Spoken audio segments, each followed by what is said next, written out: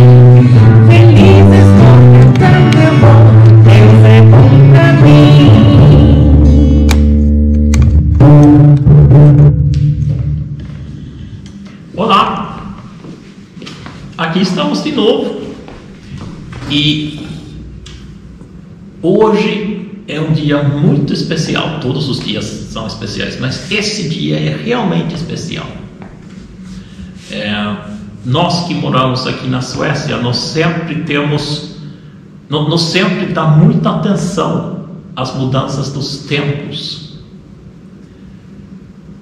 porque não é que nós não temos menos sol que todo mundo, é que a distribuição do sol, da luz do sol, é muito, muito distorcida. No verão nós temos muito sol e no inverno quase nenhum. E agora nós estamos no verão aqui na Suécia. E verão quer dizer nós temos muito sol. Mas a partir de hoje o sol vai diminuindo cada dia. No Brasil é muito diferente, porque vocês estão no inverno, quer dizer que a partir de hoje o sol de vocês vai aumentar todo dia, só que vocês não notam a diferença entre inverno e, e, e verão, é talvez 45 minutos, uma hora. Onde nós estamos, se trata de 6 a 12 horas, dependendo onde você mora no país, mas, mas onde nós moramos, por exemplo, o sol no inverno se põe às 3 e nasce por volta das 9.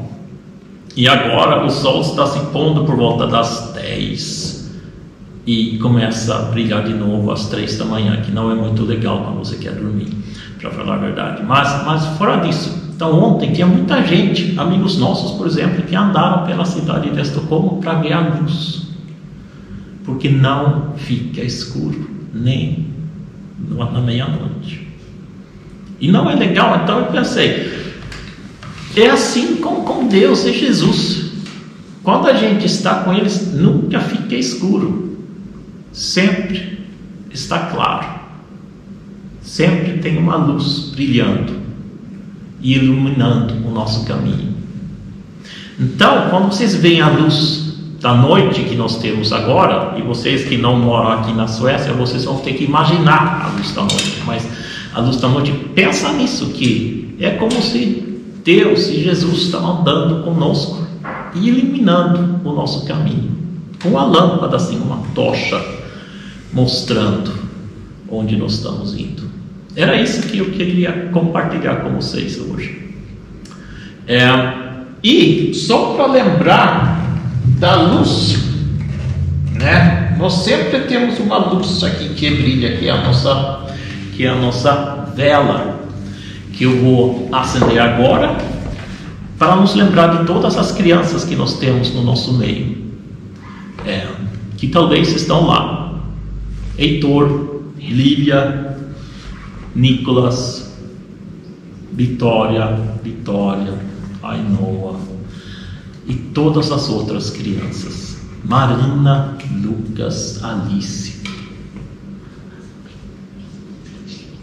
E tem muitas, é, tem muito mais crianças que eu, que eu agora não me lembro de todos os nomes. Mas agora vamos acender a vela, só para nos lembrar que tem criança aqui na igreja, em Estocolmo, na Suécia, na Europa, no Brasil, nos Estados Unidos, na África, na Ásia, no mundo inteiro.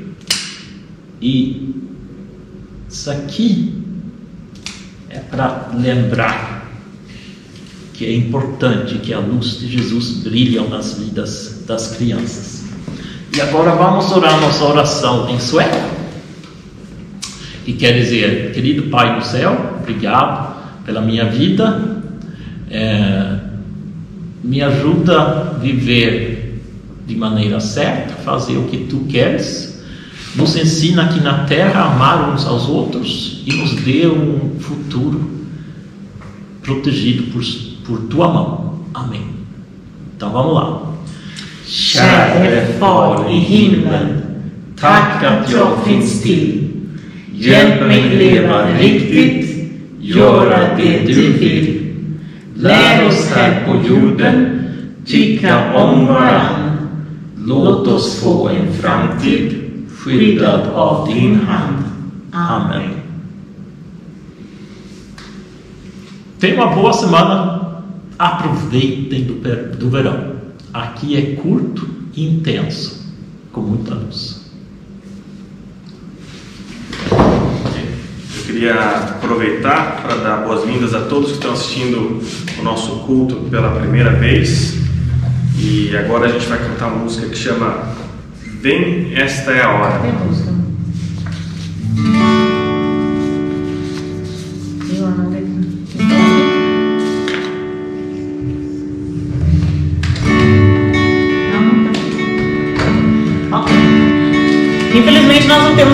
Nós cantamos. Temos?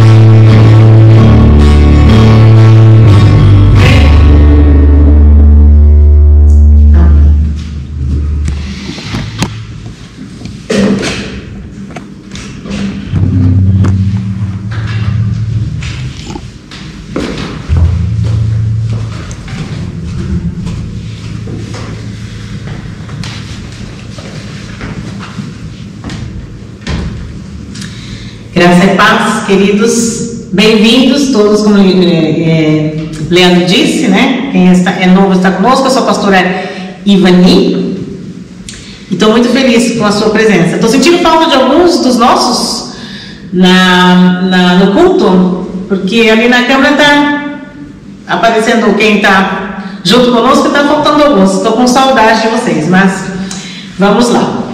Bem-vindo para você que está aqui, que Deus fale ao seu coração nesta manhã. É, vamos ficar em pé para a leitura do Evangelho. Eu vou ler o Evangelho de Mateus hoje, 9, capítulo 9, versículo 38, versículos 35 a 38 e depois do 10, de 1 a 8. Mateus, capítulo 9, versículos 35 a 38 e depois de 10, 10 de 1 a 8. Diz assim a palavra do Senhor. E percorria Jesus todas as cidades e povoados, ensinando nas sinagogas, pregando o evangelho do reino e curando toda sorte de doenças e enfermidades. Vendo, vendo, eles as, vendo ele as multidões, compadeceu-se delas, porque estavam aflitas e exaustas, como ovelhas que não têm pastor. E então se dirigiu a seus discípulos. A seara, na verdade, é grande, mas os trabalhadores são poucos. Rogai, pois, ao Senhor da seara, para que mande trabalhadores para a sua seara. Tendo chamado os seus doze discípulos, deu-lhes Jesus autoridade sobre espíritos imundos para os expelir e para curar toda sorte de doenças e enfermidades. Ora, os nomes dos doze apóstolos são estes: primeiro Simão, por sobrenome Pedro, e André, seu irmão, Tiago, filho de Zebedeu, e João, seu irmão, Filipe e Bartolomeu, Tomé e Mateus, o publicano, Tiago, filho de Alfeu, e Tadeu, Simão, o zelote, e Judas Iscariotes, que foi quem o traiu. A estes doze enviou Jesus, dando-lhes as seguintes instruções: Não tomeis rumo aos gentios, nem entreis em cidades de samaritanos, mas de preferência procurai as ovelhas perdidas da casa de Israel. E à medida que seguides, pregai que está próximo o reino dos céus. Curai enfermos, ressuscitai mortos, purificai leprosos, expeli demônios, de graça recebeste, de graça dai. Amém. Senhor, a quem iremos? E tu tens as palavras de vida eterna. Amém. Podem se sentar.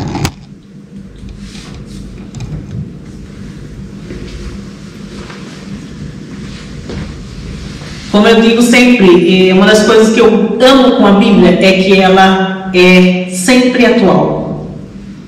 Essa palavra que nós acabamos de ler, ela cabe tão bem nos dias de hoje, que parece até que está acontecendo agora, nos nossos dias. Eu tenho um tema para minha pregação e é uma palavra viva quando não podemos respirar. E esse não podemos respirar eu tirei da cena que infelizmente foi mostrada, filmada, quando o George Floyd foi assassinado pela polícia nos Estados Unidos. Uma frase que ele disse é: Eu não posso respirar porque o joelho estava pressionando o pescoço dele. E mesmo assim, a pessoa não tirou o joelho do pescoço dele. Então Deus quer nos trazer uma palavra viva hoje quando nós não podemos respirar, porque realmente fica difícil respirar quando a gente vê uma cena daquelas e quando a gente sabe que aquilo não é um filme de ficção. Não é um filme, mas é a realidade. O racismo não está ficando pior. Ele está sendo filmado. Essa é uma frase de Will Smith que ele disse em agosto de 2016. E quem poderia imaginar, não, que essas palavras proféticas se tornariam verdadeiras? Não que não estivesse acontecendo não, alguma coisa até então. Tudo estava acontecendo, mas nada estava sendo visto, tudo estava sendo encoberto. E as coisas, elas não estão piores, elas estão apenas sendo descobertas. E a verdade, ela é quase insuportável de se falar. E eu estive pensando que por muito tempo nós temos negado o nosso racismo. E quando eu uso o pronome, o pronome nós, eu não estou me referindo apenas aos Estados Unidos ou mesmo ao racismo global, porque não é apenas nos Estados Unidos que existe racismo, nós sabemos disso. Mas eu estou aqui me referindo à igreja. A igreja que se chama de Jesus Cristo, de líderes e membros, pessoas que se dizem cristãs, e não importa agora se essa denominação é católica ou, ou batista ou metodista ou presbiteriana, mas dentro da igreja que se diz cristã, tem havido racismo. E a igreja não tem se importado com esta questão. E o racismo, ele não existiria em primeiro lugar se não existisse a palavra raça. Porque nós todos somos apenas uma raça, a raça humana. Cada um de nós com as nossas peculiaridades, diferenças e glória a Deus pela diferença, porque Deus é um Deus muito criativo. E por que ele faria todo mundo igual? Não é mesmo? Mas quando nós, como igreja, negamos, quando nós, como igreja, fingimos que não vemos e nos comportamos de uma maneira que, na verdade, está dando apoio para esse tipo de coisa, eu acho que é um dos pecados mais horríveis que pode haver na face da terra, visto que quando nós discriminamos, quando nós achamos que outra pessoa não é uma pessoa humana, que ela não merece ser tratada como ser humano, nós estamos negando que essa pessoa é imagem e semelhança de Deus. E todos nós somos imagem e semelhança de Deus. Então, enquanto você se prepara para suas férias aqui na Suécia, enquanto nós nos preparamos para nossas férias, enquanto você se prepara para talvez mais um período nessa interminável quarentena no Brasil e nos outros países. Seja no espaço familiar ou seja pela internet, como nós estamos fazendo, a necessidade de uma palavra viva é mais do que nunca necessária. Uma palavra viva que não só sai da nossa boca, mas que é representada pela nossa vida. Esse é o sexto mês do primeiro ano da terceira década do século 21, depois que os relatos da ressurreição de Jesus mudaram a compreensão do mundo, mudaram a compreensão de humanidade de todo mundo.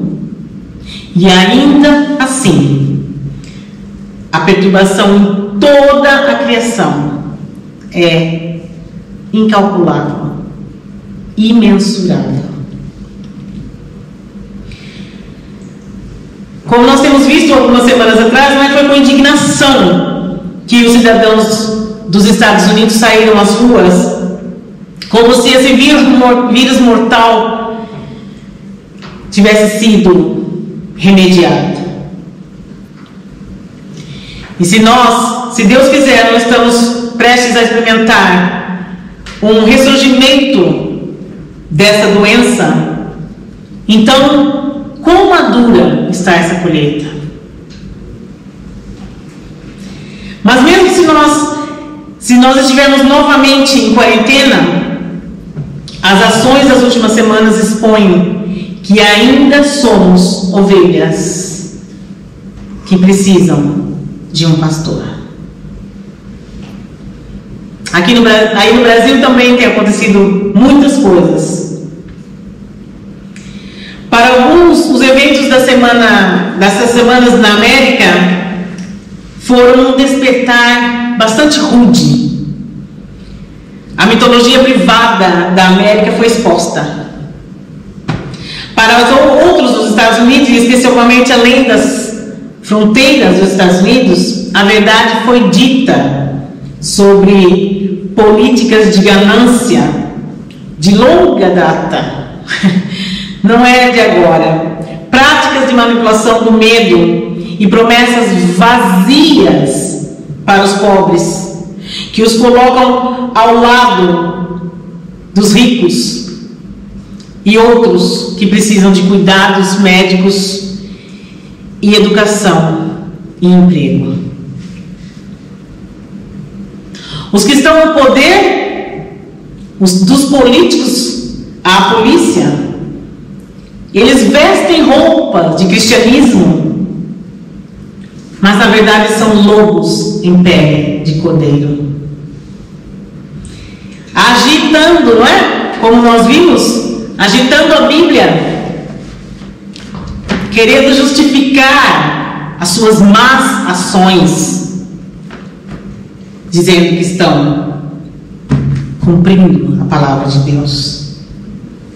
E então eles seduzem, não é? Em nome da política, eles seduzem o rebanho, porque eles dizem que são contra o aborto, ou contra o casamento gay, ou contra os direitos reprodutivos. E, no entanto, por trás de cada uma dessas conversas, permanece um sistema perfeitamente funcional que assola os pobres, que assola a terra. Eles tratam mulheres e crianças como se fossem brinquedos sexuais. E eles mantêm um teto de vidro pintado de branco acima dos esforços das pessoas de cor nos Estados Unidos e em todo o mundo. Você entendeu certo, sim. Nenhum de nós pode respirar. Infelizmente, nós podemos fazer uma análise como essa também na situação do Brasil, acrescentando que tem sido não só esse tipo de coisa, não só no meio da política, mas as pessoas, os cristãos brasileiros, têm se comportado de uma maneira que está impossível de se conversar. Não é possível ter uma conversa, porque acaba em briga, acaba em guerra, um jogo de quem sabe mais e melhor, ou de quem está certo e de quem está errado. E inimizade quando eu e você não pensamos a mesma coisa. E o comportamento das pessoas que se dizem cristãs tem sido um mau testemunho no meio de tudo isso que está acontecendo. Jesus, quando ele diz aqui, ele chama os seus discípulos, ele diz: curai os enfermos, expulsai os demônios. Jesus mesmo disse que ele veio para abrir a prisão, aos presos, para libertar os cativos, para dar visão aos cegos. E nós, cristãos, temos nos comportado, se não igual, ainda pior do que muitos que não são cristãos. Como é que nós vamos ser o sal fora do saleiro? Porque é justamente para tempos como este que a igreja deve se levantar.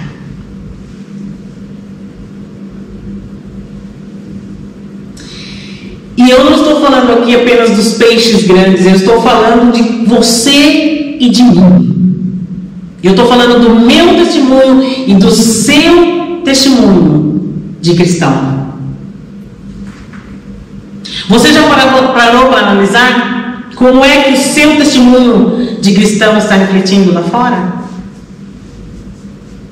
Que lutas ou que batalhas você tem escolhido?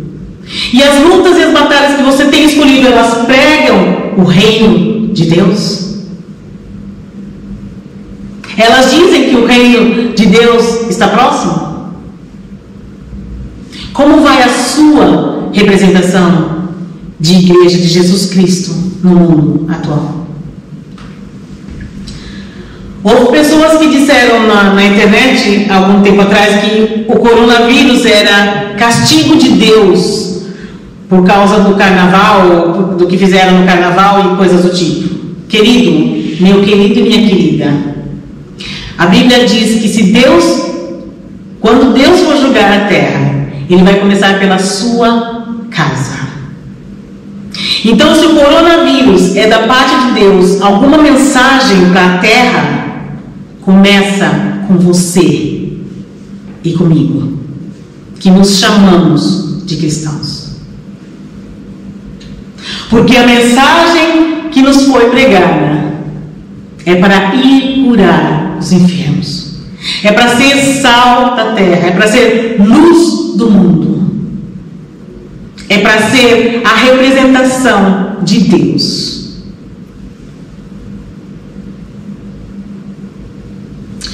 Nós hoje lemos essas palavras do professor Jesus, depois de nós termos ensaiado a promessa comprovada do Cristo ressuscitado de enviar o Espírito Santo. O Espírito Santo de Deus foi enviado para nós, não para nós ficarmos falando em línguas, porque Paulo ele diz que é melhor você dizer uma palavra que todo mundo entende do que dez mil que ninguém entende nada. Então, o que você ganha falando em línguas? É a operação do Espírito Santo na nossa vida que vai nos levar a ser aquilo que Deus quer que nós sejamos.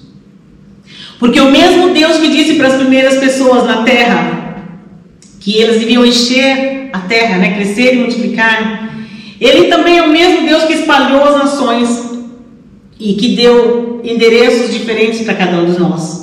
E este Deus é o mesmo Deus que ressuscitou a Jesus entre os mortos e que reúne as nações. Porque nós mesmos sabemos que estamos reunidos como nações neste culto, neste pequeno simples culto aqui. Nós temos várias, vários países aqui representados, não é? Brasil, Estados Unidos, Portugal, é, Espanha, Itália, outros países aqui conosco. Então, o mesmo Deus que nos separou é o mesmo Deus que nos une. E é aí onde você está, meu querido e minha querida, que você tem que ser a palavra viva de Deus em tempos como este. Aqui no texto também diz que Jesus, vendo as multidões, compadeceu-se deles, porque estavam, eles estavam aflitos e exaustos. Todos, praticamente todos nós estamos aflitos e cansados. Será que o meu coração e o seu ainda têm compaixão pelas vidas? Eu fico boba de ver que a palavra de Deus também diz que você que julga os outros, você julga aquilo naquilo que você mesmo erra. E tem sido tanto assim, nós temos visto tanto isso acontecer. Porque se você, por exemplo, é contra o presidente do teu país, tua, o teu papel não é atacar o presidente e xingar e falar até palavrões, você que é cristão. O teu papel é orar por ele, orar pelo Brasil. Porque a presidência atual que não está boa, mas a passada também não foi lá muito boa, não é verdade? Nós temos que orar para que Deus levante pessoas de coração limpo. Esse é o nosso papel como igreja. Mas quando eu e você nos comportamos igual ou pior, o que é que nós vamos poder falar? Jesus se compadeceu das multidões, porque por causa de tantas coisas, por causa de políticos corruptos, por causa de tanta injustiça, as pessoas estão aflitas e elas estão exaustas. Essa é a guerra para a qual nós fomos chamados. Levanta Dobre o seu joelho e ore pela sua nação. Ore pelas pessoas que estão sendo afligidas. Porque muitos de nós estamos com uma vida tão confortável. É fácil para nós ficar atrás da tela, criticando e comentando e brigando e sendo um mau testemunho. Vá para o teu quarto, fecha a porta e dobra o teu joelho e ora, porque o teu pai que vem em secreto vai responder a tua oração. Deus tem nos chamado à santidade. Deus não está chamando as pessoas que não são cristãs à santidade. Ele está chamando a mim e a você que confessamos o seu nome.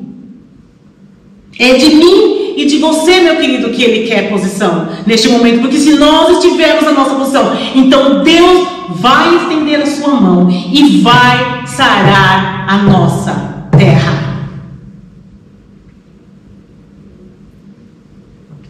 Este Deus que ressuscitou Jesus entre os mortos, ele reúne as nações, as línguas e as tribos, e aqueles que são testemunhas da, da Escritura, que se soletra justiça. E a justiça de Deus vem quando nós dobramos os nossos joelhos, quando nós nos consagramos, quando nos santificamos e nos colocamos na Sua presença. E quando nós olhamos as palavras de Mateus, registradas aqui em Mateus, nós não podemos perder de vista a missão que foi dada para você e para mim, e que começa dentro da nossa casa, no nosso bairro, na nossa cidade, no nosso país, nas pessoas que estão próximas de nós, na nossa vida. Vendo as multidões, Jesus compadeceu-se delas, porque estavam aflitas e exaustas, como ovelhas que não têm pastor. Deus está chamando aqueles que podem, que querem oferecer compaixão semelhante à de Jesus Cristo para os que estão assediados, desamparados, aflitos, oprimidos, presos, cegos. O Espírito de Jesus ressuscitado, ele dá a, sua, a verdadeira autoridade à sua igreja para vencer o mal. E principalmente quando esse mal chega à nossa porta. A questão é: será que você e eu vamos dar ouvidos? Ou será que nós não nos importamos mais? Não é problema nosso. Ou será que nós achamos que Deus devia jogar um raio aqui e terminar com tudo? Será que eu e você estamos dispostos a sacrificar a nossa vida para que nós tenhamos uma existência na presença de Deus e para que outras pessoas também possam desfrutar de uma existência na presença de Deus com vida abundante? Ou será que nós, como Caim, vamos exercer a nossa capacidade de tirar a vida dos próprios irmãos. Jesus disse ainda mais, ele disse: a seara na verdade é grande, mas os trabalhadores são poucos. Será que Deus pode contar com você? Será que Deus pode contar comigo? Será que Deus pode contar conosco que nos dizemos cristãos? Será que nós estamos dispostos a trabalhar para Deus? Ou será que nós estamos vivendo de uma maneira talvez hipnotizados, sonolentos, vivendo apenas para termos dinheiro suficiente para viajarmos e colocarmos fotos bonitas no Facebook? Mostrar para todo mundo como nós temos uma vida boa? Como nós comemos bem, né? Porque é interessante isso, que no Facebook sempre tem foto de pratos, né? Eu, já, eu mesma já coloquei muitas vezes fotos de uma comida gostosa que eu comi. E aí Na verdade, devíamos ter fotografias de pratos vazios, porque essa é a realidade. Mas o Senhor precisa de trabalhadores para trabalhar na seara. Mas eu estou muito ocupado com a minha vida. Eu estou muito ocupado em decidir em qual, qual é o próximo país que eu vou visitar. Justamente porque agora, nesses tempos de coronavírus, não é? Para que, que serve toda a roupa bonita que nós temos dentro do guarda-roupa? Toda a roupa de marca que nós temos dentro do guarda-roupa? Para que, que serve os nossos saltos altos e a maquiagem? Para que, que serve tudo isso que nós temos?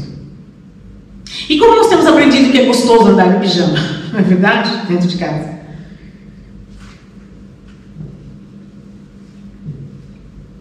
Você está ouvindo o que Deus está dizendo?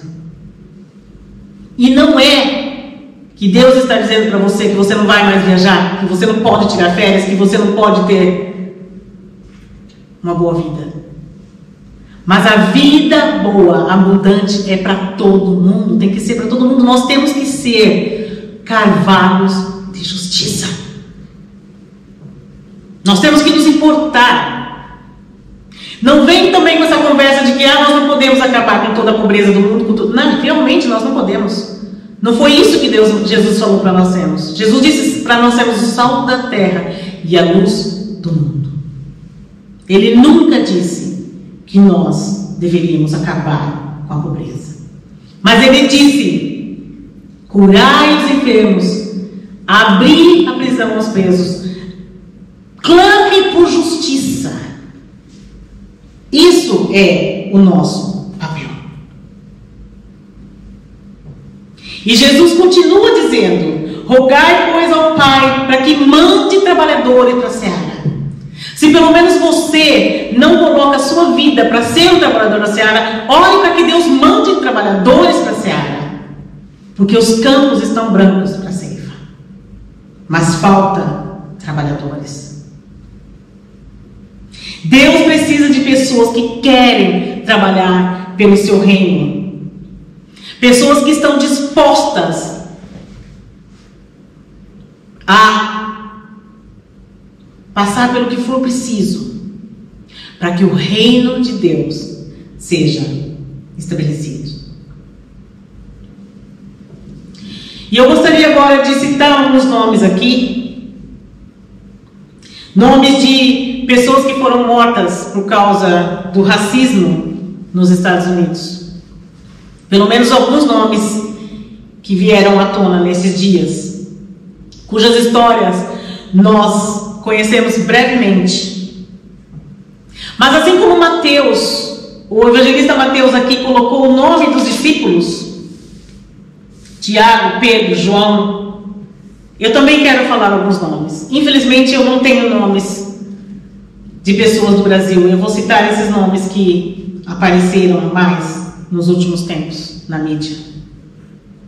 Talvez eu diga errado o nome deles, porque são americanos, mas Emmett Trayvon Martin, Ayana Jones, Ahmud Arbey, Breonna Taylor, George Floyd.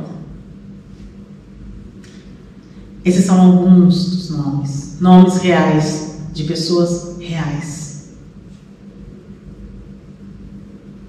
cuja aflição e cuja exaustão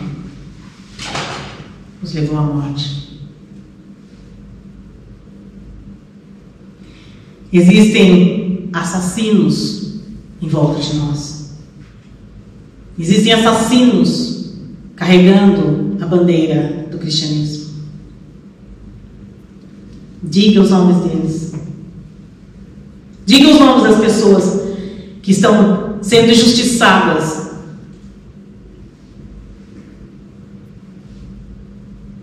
E se você tem medo que isso seja muito provocativo, então observa melhor o texto de Mateus. A cena registrada no Evangelho de Mateus antes da ressurreição deixa explicitamente claro que os lobos estão no meio de nós. Essa palavra não é aos gentios, essa palavra é para os cristãos. E aqui Jesus está dizendo que entre os filhos de Israel, entre o povo de Deus, entre as suas tribos, estão aqueles que estão perdidos. E às vezes até entre o povo de Deus também está aquele que está oprimindo o povo, que está levantando a sua Bíblia para dizer que está fazendo a obra de Deus. E aqui é que está o lembrete de que esta não é a constituição da nação.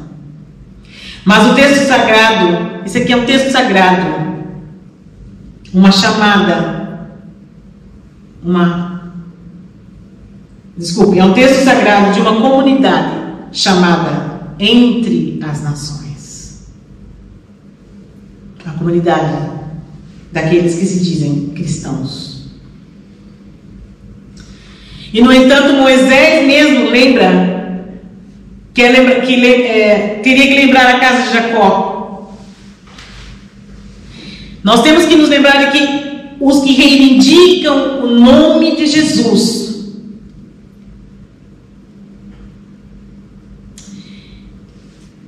são aqueles que são de uma maneira peculiar, é para viver de uma maneira peculiar, diferente dos outros, entre o povo. E são aqueles que obedecem, ouvem e obedecem o mandamento de Deus. Mas infelizmente nós concluímos que nem todos que ouvem obedecem. Mas nós podemos obedecer. Nem todo mundo que sofre permanece. Mas nós podemos permanecer. E aqui que está a parte complicada. Nem todo mundo que permanece tem o caráter de Cristo. Mas eu e você podemos ter. Queridos, esses são dias caóticos. Não importa qual a perspectiva de que você, que você está adotando sobre os eventos atuais. Mas é difícil ignorar que são dias caóticos. E no meio do caos é preciso apenas estar em silêncio para capturar a nossa atenção. Quando eu e você falamos, quando a nossa presença em algum lugar ou situação chega,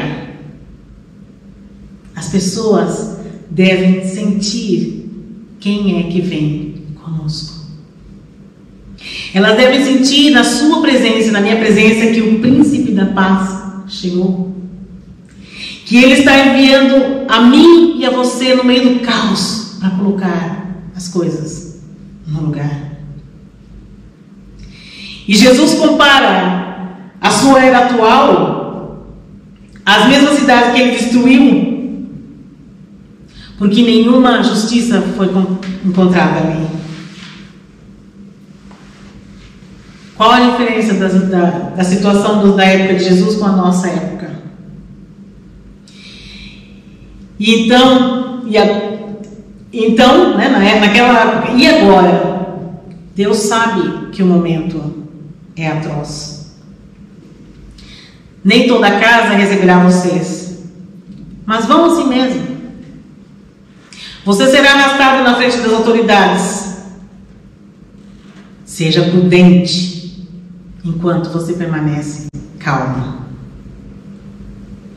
Porque podemos esperar que aqueles que afirmam estar entre os que se dizem cristãos serão os que ignoram a voz de Deus.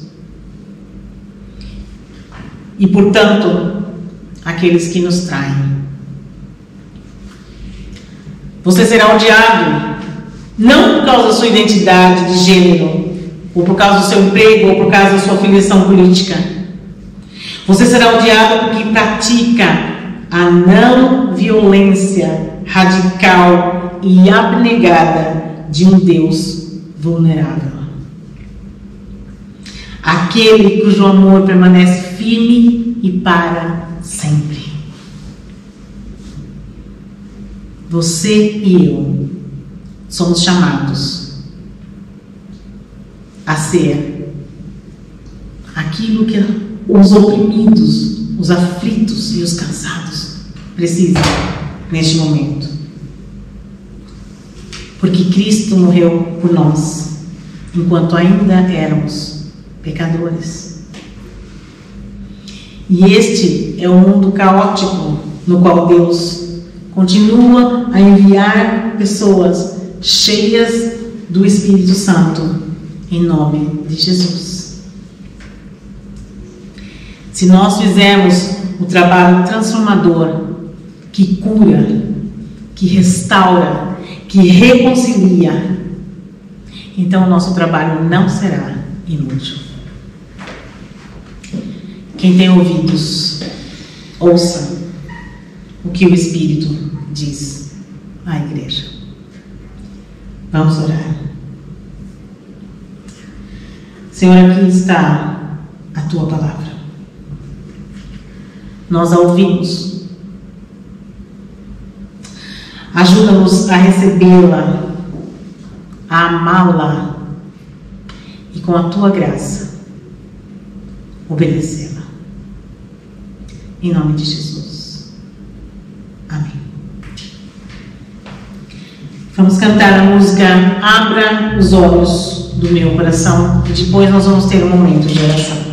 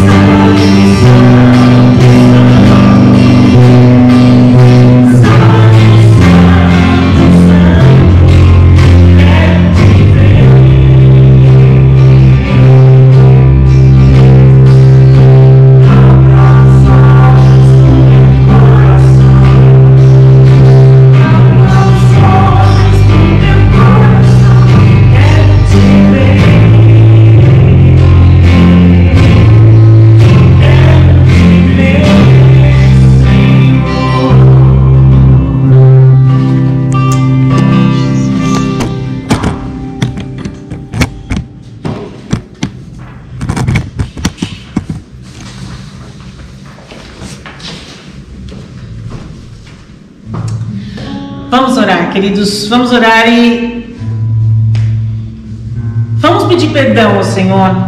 Vamos pedir perdão ao Senhor se nós nos encaixamos nisso tudo que foi dito hoje. Se o nosso exemplo tem sido fraco e tropeçado. Se nós não temos amado as almas o suficiente. Se nós não temos nos importado com o que acontece ao redor de nós. Vamos colocar diante do Senhor as nossas nações, os líderes das nações. E vamos colocar principalmente as nossas vidas diante do Senhor. Porque não adianta nós colocarmos o dedo no nariz dos outros quando nós não temos feito aquilo que nós somos chamados para fazer. Você é a igreja de Deus no lugar onde você está. Amém? Vamos orar. Mas nós vamos orar. Tá bom? Você e eu somos chamados para ser a representação de Deus aqui na terra. Então vamos orar e vamos colocar diante do Senhor as nossas ações. Vamos colocar diante do Senhor. é, pedir perdão ao Senhor se é necessário, se nós temos falhado em ser testemunhas de Cristo.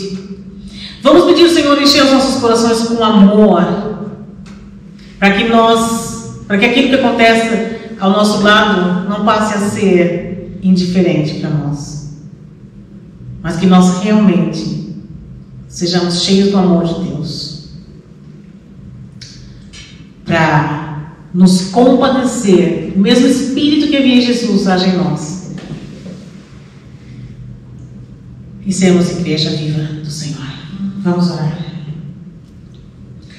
Paizinho querido, nós queremos nos colocar diante de Ti nesse momento. Senhor,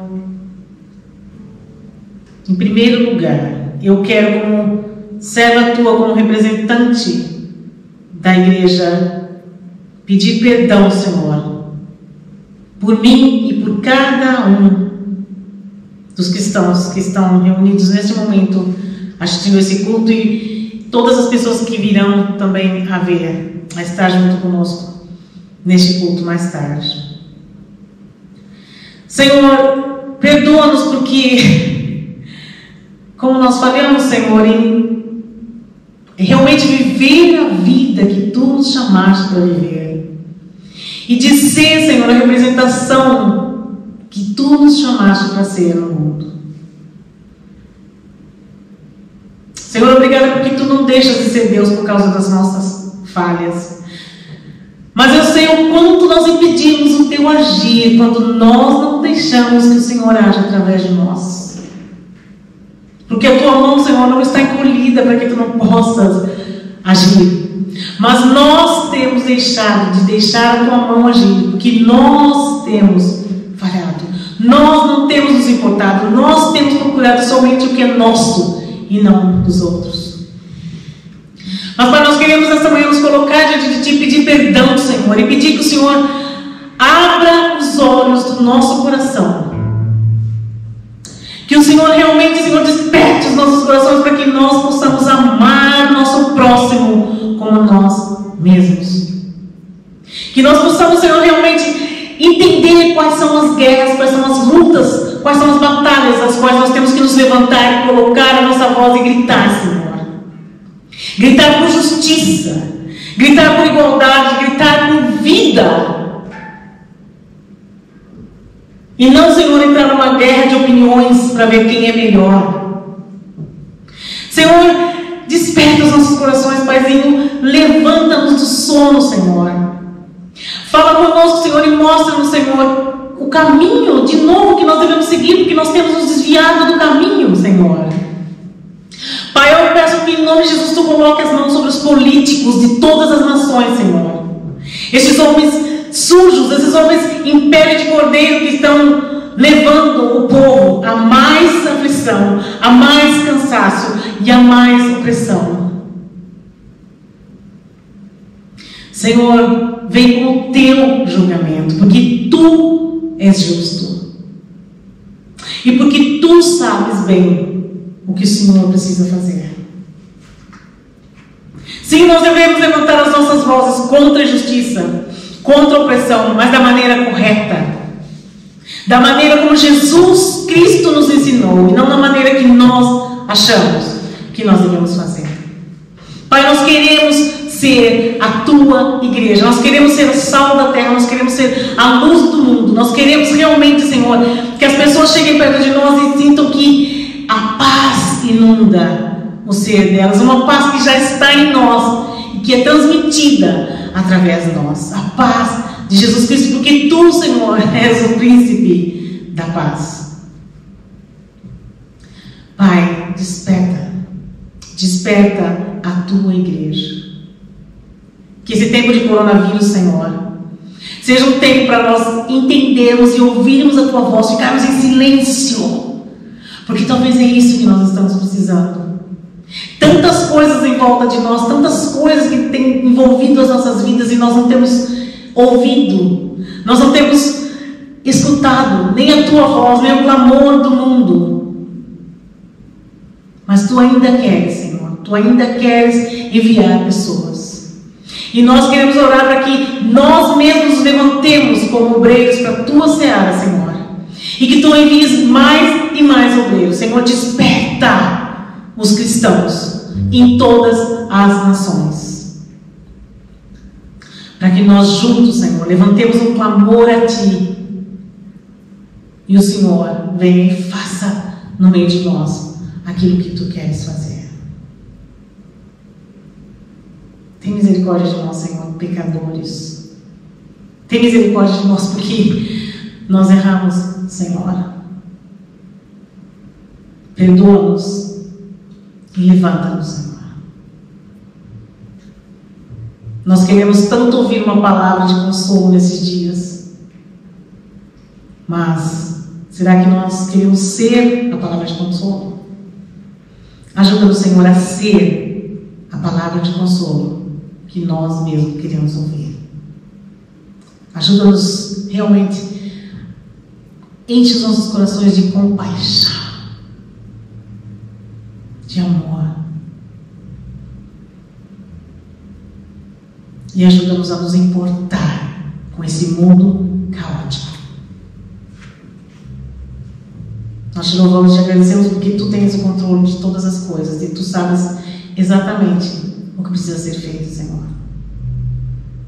Mas desperta-nos que dormimos, para que a Sua glória seja manifestada e que a tua mão possa agir no meio de nós.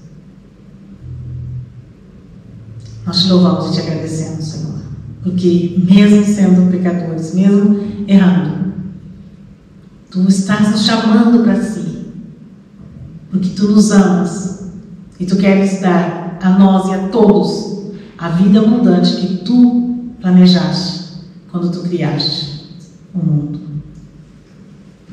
Ajuda-nos a desejar fazer parte disso, Senhor. Ajuda-nos realmente a entender que nós fazemos parte disso. Porque nós entregamos a nossa vida a Ti. Então venha, seja não só o nosso Senhor, não só, a, não só o nosso Salvador, mas o Senhor das nossas vidas. Nós colocamos todas essas coisas diante de Ti, Senhor, no Teu altar. E eu quero pedir em nome das famílias, dos nomes que eu citei aqui hoje. E tantos outros nomes, Senhor. Tantas outras pessoas. Tu sabes e conheces o nome de cada um. Encontra, Senhor. Leva uma palavra de conforto, de vida. Ar, para que as pessoas possam respirar. Aquelas que não estão, que estão longe de nós, nós oramos por elas, mas as que estão perto de nós, Senhor, que nós sejamos a palavra, a vida, o ar que elas precisam para viver, para respirar. Nós te louvamos, nós te agradecemos e nós colocamos todas essas coisas nas tuas mãos. Obrigada porque tu não mudas. E obrigada porque tu nos perdoas. Em nome de Jesus. Amém. Vamos orar todos juntos o Pai Nosso, que eu esqueci. Pai nosso que estás nos céus, santificado seja o teu nome. Venha a nós o teu reino, seja feita a tua vontade, assim na terra como nos céus. O pão nosso de cada dia nos dá hoje e perdoa as nossas dívidas, assim como nós perdoamos aos nossos devedores. E não nos deixes cair em tentação, mas livra-nos do mal, porque teu é o reino e o poder e a glória para sempre. Amém. No próximo domingo nós teremos o nosso último culto desse, desse semestre, chama-se? Desse semestre e depois nós vamos estar em férias. E como eu disse na semana passada e como eu já escrevi também no, no Facebook, mas eu vou continuar escrevendo, que nós vamos ter devocionais no mês de julho. Vai ser um pouco diferente, vai ser um culto um pouco diferente, mas momentos em, em que nós vamos meditar um pouco na palavra do Senhor. Você está muito bem-vindo. Tira um tempinho para você também é, estar conosco. E descanse. Descanse, meus queridos, porque descanso é preciso. Tá bom?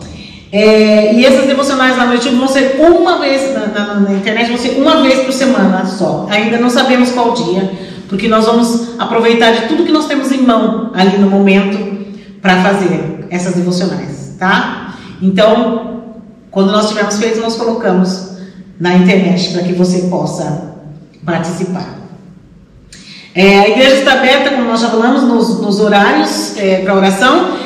Mesmo durante as férias, tem gente aqui, tá? Que vai poder. é, tem gente aqui, então a igreja vai poder estar aberta. E maiores informações no site da igreja. Muito obrigada pelas ofertas. Aqui está o switch. Muito obrigada porque você tem abençoado a igreja e o Senhor continue abençoando a sua vida. Também está lá o meu e-mail, meu telefone. O meu telefone durante as férias eu olho, eu vou estar olhando de vez em quando, se você quiser me mandar um- um- uma mensagem, se você precisar de alguma coisa. Eu não vou olhar todos os dias, mas vou olhar de vez em quando e responder para vocês, ok? Então, se você precisar de oração, se você precisar de alguma coisa, você pode mandar para o meu telefone do trabalho e eu vou, então, orar por você. E se for alguma coisa urgente, naturalmente, me liguem no meu telefone privado e, e eu vou atender, ok? Mas só se for urgente mesmo. Receba a bênção do Senhor então, e depois nós vamos cantar uma música em sueco, que chama-se Du är helig, du är hel. Essa música, ela, tu és santo, tu és tudo, né? Tudo no inglês inteiro. É, tu és muito mais do que nós podemos entender e tu estás sempre perto. Bendito és tu que vem agora aqui no meio de nós, abençoando o nosso mundo e sendo o pão na nossa mesa. Tu és santo, tu és tudo. Tu és proximidade, aconchego. Todo o cosmos te louva. Osana ao nosso Deus. É isso que nós vamos cantar, ok? Você, ah, você vou, vou colocar a letra ali e você pode acompanhar. E canta dentro do seu coração também para o Senhor, que o Senhor é santo. Vamos primeiro ver, eh, receber a benção, eu já ia esquecendo.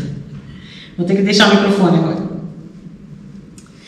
Que a graça do nosso Senhor Jesus Cristo, o amor de Deus e a comunhão do Espírito Santo seja com todos nós, agora e para sempre. Amém. Então vamos lá. Deixa eu desligar aqui.